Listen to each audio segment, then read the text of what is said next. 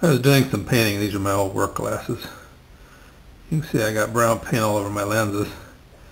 What's the best way to get that off? Well, after many years of wearing glasses, I've been wearing glasses since I was in fifth grade. Um, I can tell you. Let's start out with what you should not use. You should not use any kind of a paper product, tissue, anything that's paper, newspaper, anything silly like that. Don't use it. It'll just ruin your your lenses. It'll scratch them up. Polycarbonate and the plastic lenses, other types of plastic lenses, will not tolerate paper. Paper is actually very scratchy. I've had some people say you can take a razor blade and lightly scrape on it.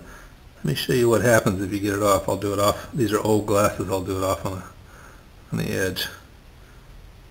And see that scratch right there? That's what I just did. Very light touch with a razor blade and I just put a beautiful scratch in there. So definitely you don't want to use this uh, razor blade, anything metallic, anything. Uh, you can use these special cleaning cloths like this one for our glasses, but uh, uh, you can also use stuff like uh, glass cleaning solutions and so on. But what I have found the very best works the very best is just a good old fingernail. It's a very low chance of scratching the glass and it's a little bit of work. Sit in front of the TV, watch your favorite TV program, and just scratch at them. Uh, these have had a chance to dry. This is enamel paint, by the way. And you just pick one at a time and you just work on it. Frame, what have you. And just keep scratching at it. I waited for these, I waited a little bit long for these to dry. Uh, so they've they've really hardened on there but uh, if I just keep after it usually they'll just pop right off also I've found that uh, before you paint if you uh, don't wash your glasses so they're a little bit dirty helps get it right off of there it'll help the paint pop off because it won't stick to dirty glasses not having much luck with that one. Let's go down here. That one came right off.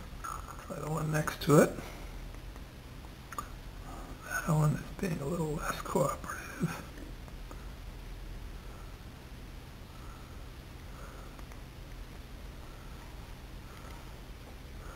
Uh, just keep after with your fingernails.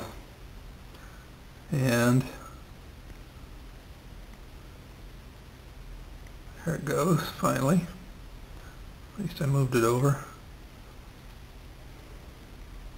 And just start the next one. But again, sit in front of the TV set. Just pick one spot at a time. Put some pressure on it. Give it a pop.